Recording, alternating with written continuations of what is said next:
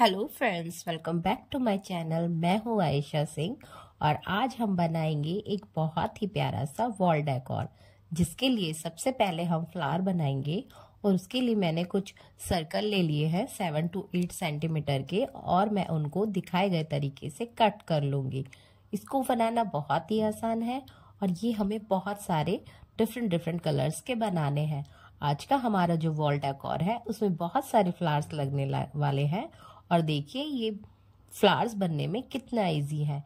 इन flowers को बनाना बहुत ही आसान है। ये है एक फ्लावर पंचिंग मशीन, जिससे मैंने ये बहुत सारे छोटे छोटे फ्लावर्स बना लिए हैं। और देखिए, मैंने ये फ्लावर्स भी कितने सारे बनाए हैं डिफरेंट डिफरेंट कलर के। और ये जो हमारे छोटू से फ्लावर्स हैं, ये हम हमारे, ये थोड़े से जो बिग्स फ्लावर्स हैं, इनके ऊपर पेस्ट कर देंगे। देखिए, ये कितने ही प्यारे लग रहे हैं। और ये मैंने बहुत सारे बना लिए हैं। इसके बाद हम लेंगे न्यूज़पेपर जिसका हमें न्यूज़पेपर ट्यूब बनाना है। न्यूज़पेपर ट्यूब बनाना बहुत ही आसान है और ये भी हमें छोटे बड़े साइज़ के बहुत सारे बना लेने हैं।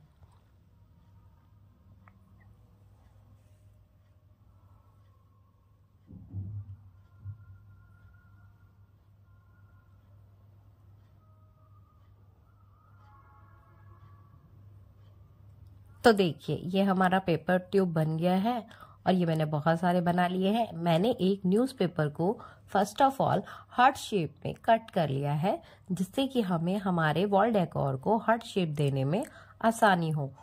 मैं टू टू ट्यूब्स को एक साथ पेस्ट करूँगी, क्योंकि मुझे ऐसा लगा कि अगर मैं दो ट्यूब्स को एक साथ पेस्ट करती हूँ तो हमारा बेस ज़्यादा स्ट्रॉन्ग बनेगा और इस, ये लॉन्ग लाइफ रहेगा। तो मैंने दिखाए गए तरीके से इन्हें अरेंज कर लिया है।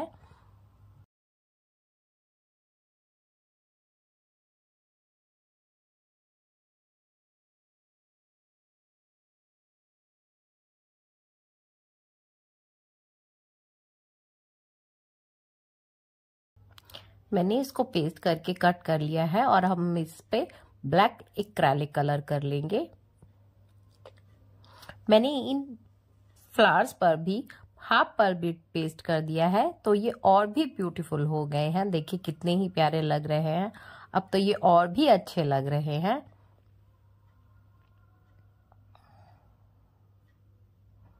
और फिर उसके बाद मैं इस सारे फ्लावर्स को अपने वो जो बेस है हार्ट शेप का, उस पर अरेंज कर लेंगे। आप कलर्स अपने अकॉर्डिंग ले सकते हैं फ्लावर्स के। और